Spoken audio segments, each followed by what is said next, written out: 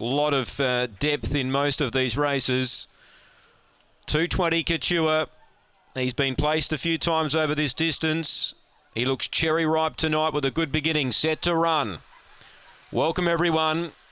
Set Racing, Couture jumped brilliantly, box two. He's going to pounce on the lead.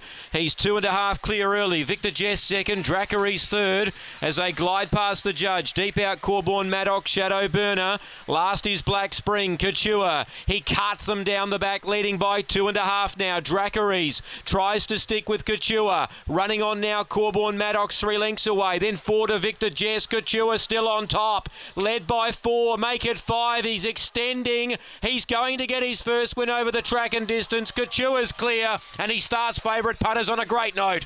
Corborn Maddox second, Shadow Burner third, and rattling home Black Spring. Then Dracarys, Victor Jess. And the time looks very, very good, around the 34.80 mark. Number two, Couture. Favourite back is off to a great start here. He pounced on the lead and he kept running and he's run very good time here. This is terrific time, 34.80. Tracks on fire here, number eight, second, Corborn Maddox. And five, Shadow Burner gets home in time for third. Number seven, Dracarys has fell in to run fourth. Uh, the time, yeah, as I said, 34.80. 888 the first section, 21.55 and 13.25.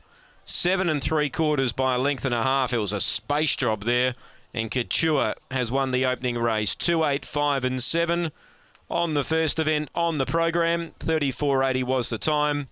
We stand by for the all clear on race number one.